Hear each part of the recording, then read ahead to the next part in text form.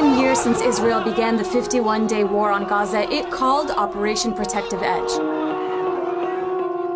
By the end, more than 2,200 Palestinians were killed, the vast majority civilians. On the Israeli side, 73 people were killed, 67 of them soldiers.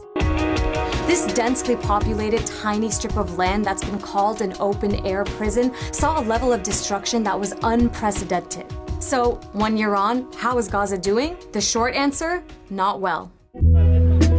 طبعا الحياة بغزة كتير صعبة إنه في ناس كتير ودعوا أبنائهم في عائلات كتير اتدمرت. أنا ولا السوق ماشي ولا ولا في بيع ولا في شراء. السنة مضى من الحرب ولا عمار ولا ولا صار حاجة.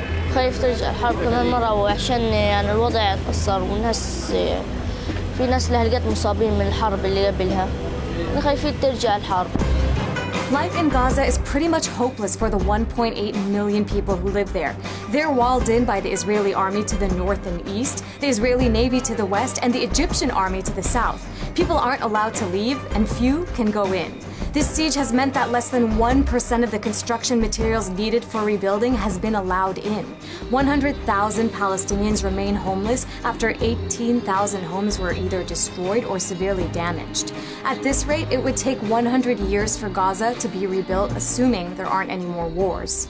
And the billions of dollars in aid pledged by foreign governments have, for the most part, remained, well, pledges. The economy is in shambles. Exports are virtually banned, and imports are very limited. According to the World Bank, Gaza has the highest unemployment rate in the world. Some people have resorted to selling the rubble of their destroyed homes to make a bit of money. Poverty is so widespread that nearly 80% of the population needs aid or food assistance just to get by.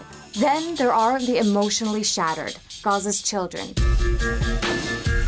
Most of them have never been able to leave and have now endured three wars in six years.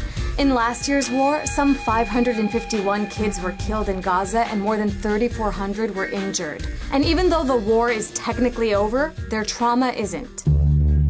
Three in four kids show signs of severe emotional distress, including regular bedwetting and nightmares. So, given all the lives lost and homes, schools, and hospitals destroyed, who's been held accountable? No one. In some instances, the Israeli military has investigated itself and then cleared itself of any wrongdoing. This includes the attack that killed four young boys playing soccer on the beach. More recently, a UN report found that both Israel and Palestinian militant groups may have committed war crimes. That report is headed to the International Criminal Court, and a case might be brought against the Israeli leadership. But in terms of accountability in the short term, there's not much reason to be optimistic. Meanwhile, Gaza's residents are living amid the rubble despair, wondering how much more they'll have to endure.